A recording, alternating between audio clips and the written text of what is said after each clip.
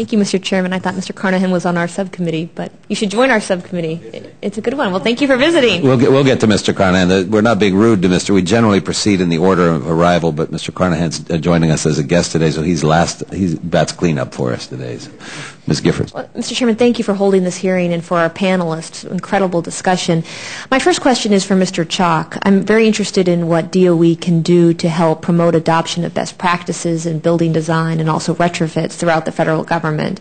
I thought it was pretty astounding that 80% of the energy used by the federal government is used by the Department of Defense.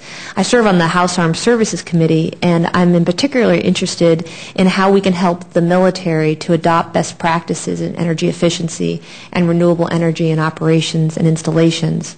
So can you please tell me how the DOE is cons- uh, working to help promote building efficiency within GSA and also the DoD? Is there anything happening within DoD that might also help inform research at, at the DOE? And what efforts are available for cross-pollination?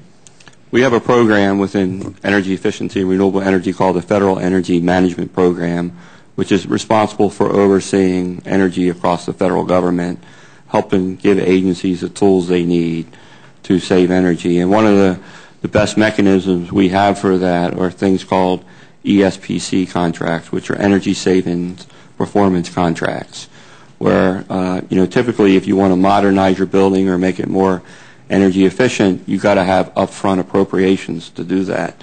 What this ESPC mechanism allows is private contractors to come in. They specialize in energy efficiency.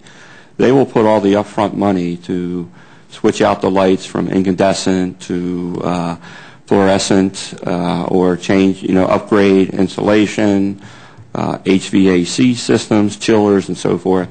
They'll put all the upfront capital to, to modernize the building. And then they get paid through the, the actual savings in the utility bill. So that's typically the primary mechanism that the Department of Defense is using, and they're doing a very good job at this. And actually are one of the leaders across, we look across all federal agencies, the Department of Defense uh, is one of the leaders in terms of actual energy saved and in terms of putting somebody in charge accountable for energy management. So they're a very, very good example.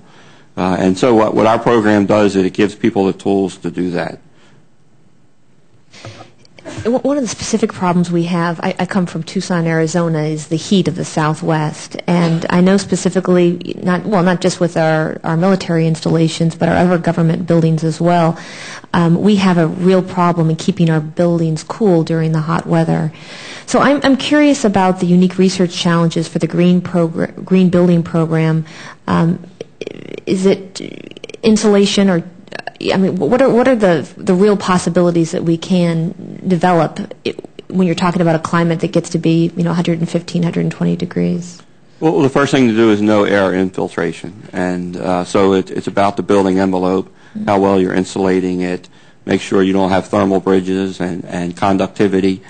Uh, but then I think the, the breakthrough could be in uh, in new cooling technology, and we're looking at several different approaches at the Department of Energy uh, because uh, cooling technology has advanced greatly, heat pump technology and so forth, much more efficient than it was even 10, 15 years ago. So if you have a heat pump that's 15 years old, you can it might be like a SEER 10. You can do a lot better today uh, than that. So, but we can go beyond that to new technology uh, for cooling, and I think that's uh, an area of emphasis uh, going forward for our program, especially in the commercial buildings area. And, and, finally, Mr. Chairman, uh, for all the witnesses, one of my great concerns that I have, and we sit through a lot of these committee hearings, whether we talk to NREL or the High Performance Green Building Consortiums and others, and the work that's being done is very impressive. But I think that we need to move beyond pilot programs, pilot projects, and demonstration projects to actually uh, put put what's being done in little specific areas out on a, on a it, for the entire building industry. So, so if a couple people could please comment on how we go from again these little projects to really implementing a, a more national program. Well, I'll comment just briefly. Um, as we build these alliances uh, in the commercial buildings area, we're building a database So every building that's demonstrated will go into the database, how it's used, what its energy use is, and we'll take data on those buildings. So this will be education out there to other architects, other developers, so they can see uh, what's been demonstrated at a much larger scale that goes beyond the research and development. I would just like to add to that. I think that it's really clear that, um, you know, the the whole question of the um, distribution of technology and the diffusion of technology again is very much rooted in understanding human decision making and you know when and why people decide to adopt these technologies. And so again, I think that the the social and behavioral sciences need to play an important um, part in in that process. I I think Mr. Coad had a comment he wanted to add, and then I Uh, recognize Mr. I'm the air conditioning guy. I can't. Uh, That's why I figured I'd let you- Can't not answer that shot at question.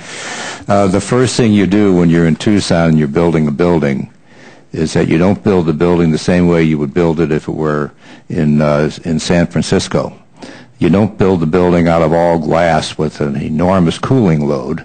You build the building so it has a less of a cooling load. You use less glass and you use better insulation, and then your your cooling system will be smaller. It'll cost you less money. and It'll use less energy. So the engineering and the architecture is, I mean, that's where it all begins in buildings.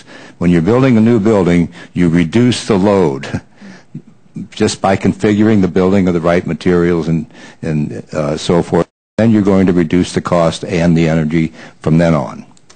And, and Mr. Chairman, you, Mr. Chairman. just a comment. There, there was a federal courthouse built in Phoenix a couple of years ago, a glass building that is the most probably the most energy inefficient building ever constructed, where the guards that sit down at the entrance in the summer have fans blowing on them, in the winter have little space heaters. I mean, it's a huge atrium that's been constructed, and again, you know, it's a federal building, beautiful by design, but incredibly inefficient, and certainly is going in the wrong direction. I certainly agree with you. I'm very familiar with the building, and you are right. Those buildings tend to be water inefficient as well, as some of them cool by spraying water into the air in a desert. Makes an awful lot of sense.